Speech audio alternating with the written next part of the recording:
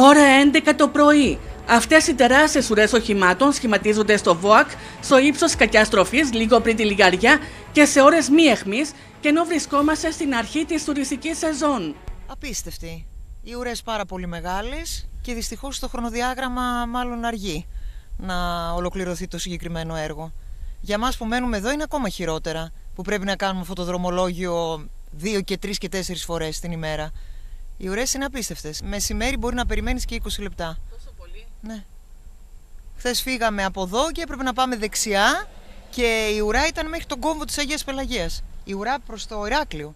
Οι εικόνες ταλαιπωρίας με τους οδηγούς να αγανακτούν και να ζητούν την επίσπευση των εργασιών, καθώς στο προσεχές χρονικό διάστημα η πορεία του κριτικού τουρισμού θα είναι ανωδική. Δεν μπορώ να το καταλάβω. Αυτή τη στιγμή, αυτή τη στιγμή να γίνει το έργο αυτό, πρέπει να το κάνουμε πιο μπροστά να με.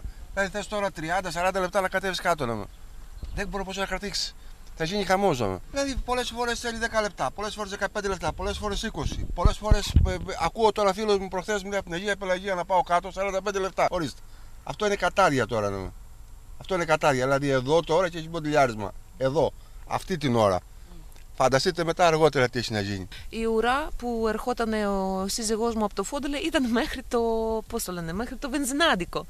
Περιμέναμε κάπως η ώρα. Είναι μεγάλη ταλαιπωρία και θα έπρεπε όλα αυτά να γίνουν πιο μπροστά.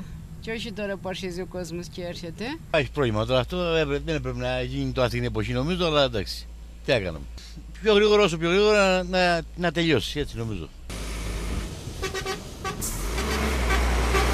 Πρόκειται για ένα έργο που ξεκίνησε με καθυστέρηση τριών χρόνων και αφορά εργασίες αντιστήριξης του δρόμου, όπου πέρα από τις ρηγματώσεις, οι ειδικοί διαπίστωσαν ότι η πλαγιά σέρνει προς τη θάλασσα. Οι εργασίες ξεκίνησαν στα μέσα Μαρτίου, με την κυκλοφορία να διεξάγεται από ένα ρεύμα κυκλοφορίας στο επίμαχο σημείο, ενώ η κίνηση ρυθμίζεται με φανάρια. Άμεσα θα κατασκευαστεί τυχείο αντιστήριξης, με το έργο να ολοκληρώνεται στα μέσα Ιουνίου, όπως δηλώνει ο Γιάννης Καρνέσης. Στην κακιά στροφή έχουν εκτελεστεί οι πάσαλοι, έτσι, σε όλη την περιοχή αυτή που ε, υπάρχει πρόβλημα ε, γεωτεχνικό και αυτή τη στιγμή κατασκευάζονται, ε, κατασκευάζεται ο κεφαλόδεσμος των πασάλων για να ακολουθήσει στη συνέχεια η κατασκευή του τείχου αντιστήριξης.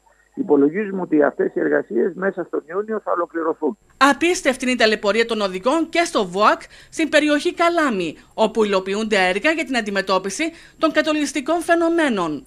Όπως εκτιμάται, εντός του Ιουνίου θα έχουν ολοκληρωθεί οι εργασίες, ενώ το φθινόπωρο θα ξεκινήσουν οι παρεμβάσεις σε δύο ακόμη σημεία στο ύψος του Κακού Όρους και στον Εσταυρωμένο. Στη θέση Καλάμι είναι η, είναι η θέση στην οποία εκτελούνται αυτή τη στιγμή τα έργα στην, ε, στην περιοχή των Χανίων. Και εκεί τα έργα θα ολοκληρωθούν μέσα στον Ιούνιο